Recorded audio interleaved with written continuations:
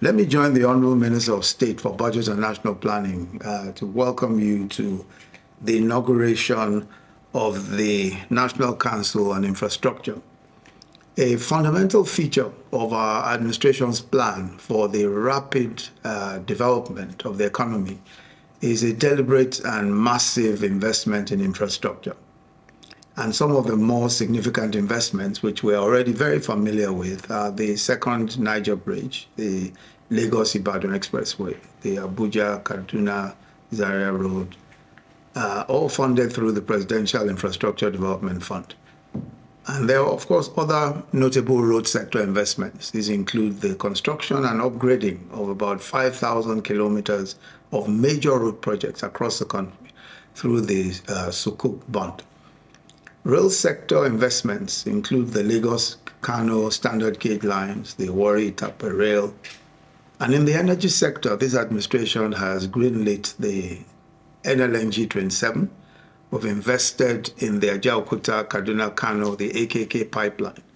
And we're on track to complete an incremental 4,000 megawatts of uh, generating assets, such as Zungeru Hydro and Kashimbila Hydro to complement the systemic reforms and investments in the distribution and transmission segments of the electricity value chain.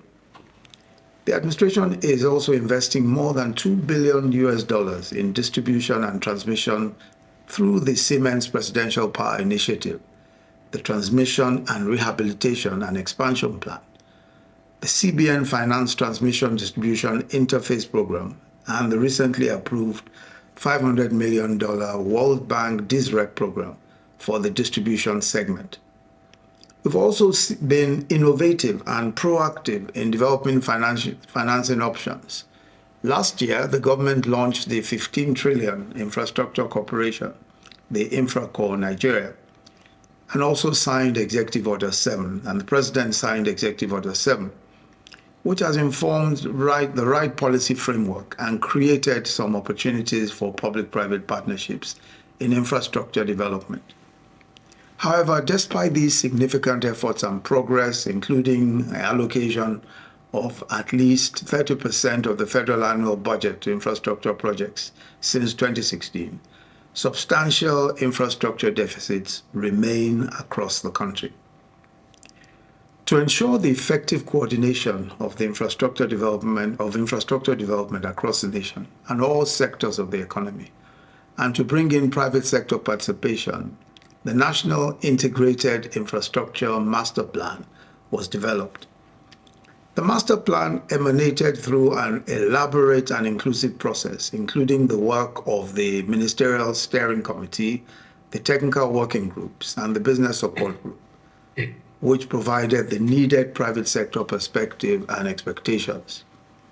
The master plan provides an integrated view of infrastructure development in Nigeria with clear linkages across key sectors and identifies and elaborates on enablers for successful implementation in line with current economic realities. It takes stock of existing infrastructure and specifically sets out the goal of raising Nigeria's infrastructure stock to at least 70% by the year 2043.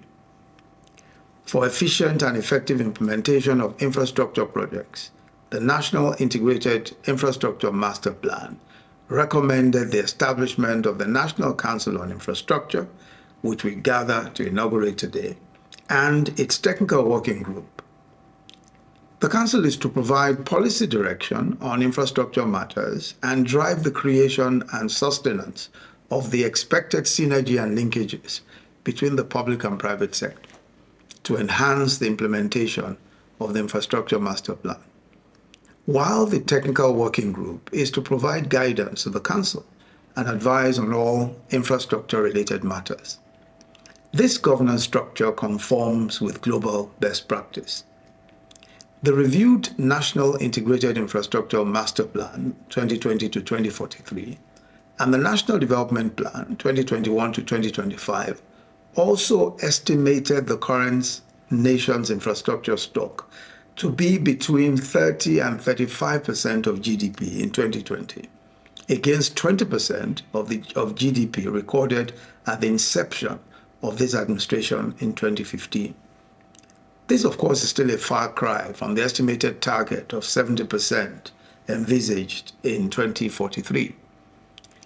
The estimated resource requirement for the National Integrated Infrastructure Master Plan implementation is 2.3 trillion US dollars. Certainly too large to be provided from public resources alone.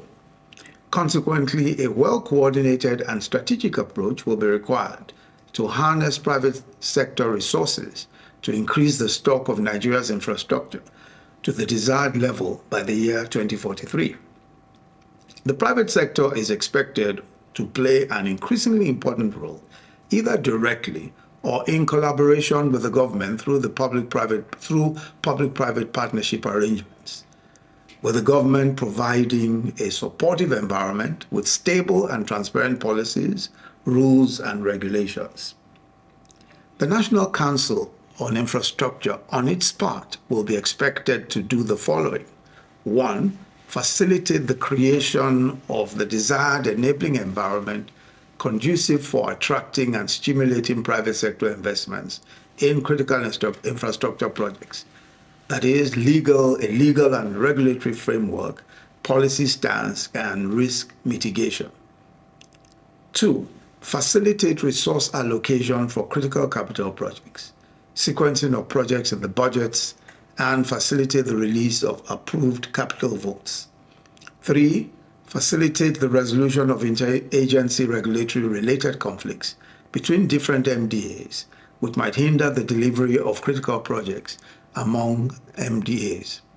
Four, to provide the Federal Executive Council with clear perspectives on infrastructure projects appraisal and capital assets management. Five, determine and approve appropriate model to fund and deliver a prioritized project or series of projects. Six, to conceive of innovative solutions to finance and deliver critical infrastructure. Seven, to take all necessary steps to obtain all necessary approvals to give effect to decisions of the Council, particularly the approval of the Federal Executive Council. And eight, to lead the process for the enactment, amendment, or repeal of legislation, including sectoral regulatory frameworks which impact on project delivery or the attraction of private sector participation. Distinguished guests, ladies and gentlemen, the success of the National Integrated Infrastructure Master Plan will depend to a large extent on the establishment of a strong implementation mechanism and framework that would promote performance and accountability. To this end, the Infrastructure Delivery Coordinating Unit in the Federal Ministry of Finance, Budget and National Planning is being strengthened to effectively perform its, its role as the Council's Secretariat. While commending all efforts towards this notable endeavor, we must specially thank the Honorable Ministers of Finance, Budget and National Planning and the Honorable Minister of State for Finance, Budget and National Planning and the management and staff of the ministry for facilitating the constitution of this council and for all their hard work in that behalf.